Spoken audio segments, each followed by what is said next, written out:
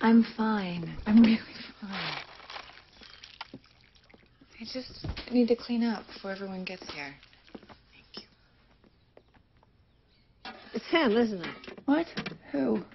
Ben? Did you invite him today? Things have gotten awkward. Finally told you how he felt, hmm?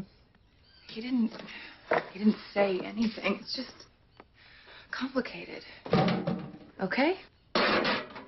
Complicated doesn't make you cry. I burned my hand. That doesn't make you cry either. What happened, Julie? I think. I think we're in big trouble. Are we? I need.